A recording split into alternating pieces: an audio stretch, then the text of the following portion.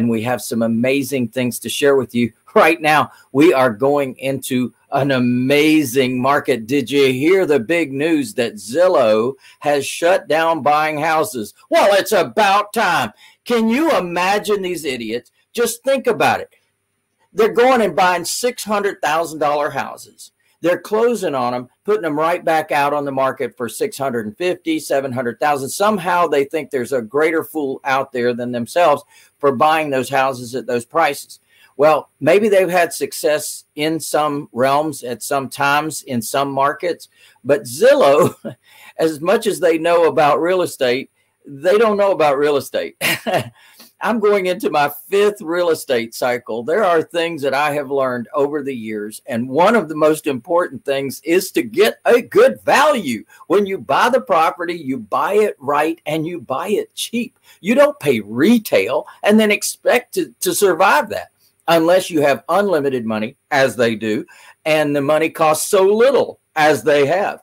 But right now, they've decided hey, hold on, put the brakes on maybe it wasn't such a wise thing. So they've got thousands of houses in inventory right now. My what I've heard in the last few days is that they are slashing prices. They've stopped buying altogether. They're slashing prices. They're selling like crazy.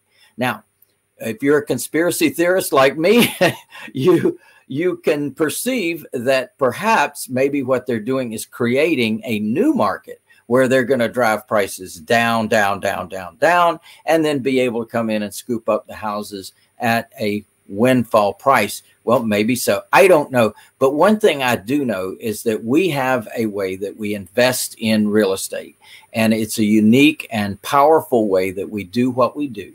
And it's important that you, as real estate investors, think through what's important and what's not important.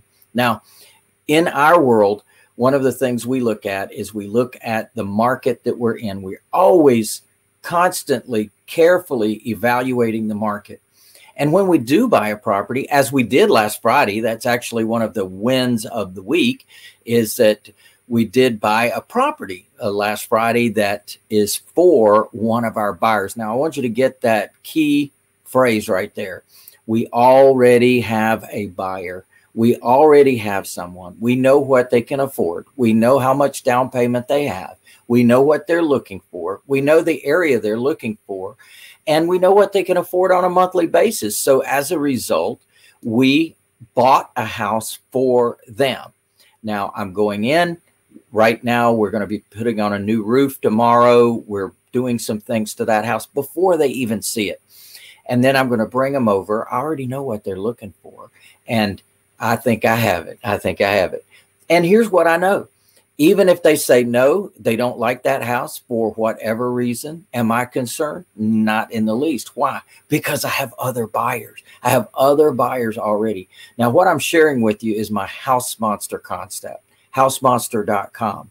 So, what happens is that in our world, we teach you that the best thing you can do is to market and find buyers and use a script to determine exactly how much down payment they have, how much they can afford on a monthly basis, evaluate their credit, do some things in advance before you go about buying a property.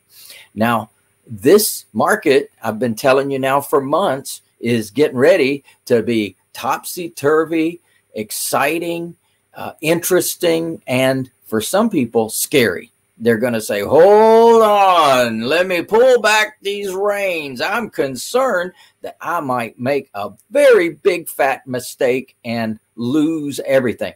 Well, I learned that lesson back in 2008. And so when I had a dozen properties on the market and I couldn't sell them because the market changed and they just stopped financing. That's what they did. They just stopped financing. So I had to be very careful and cautious. And I turned and flipped my script on what to do and how to do it in real estate. And it worked out fantastic because now we find the buyer before we buy the real estate. So just keep that in mind as you're doing your business and know that today, one of the things I wanted to focus on in addition to the crazy market that we're in, is also due diligence that we need to think about the the due diligence that's necessary to be successful in real estate.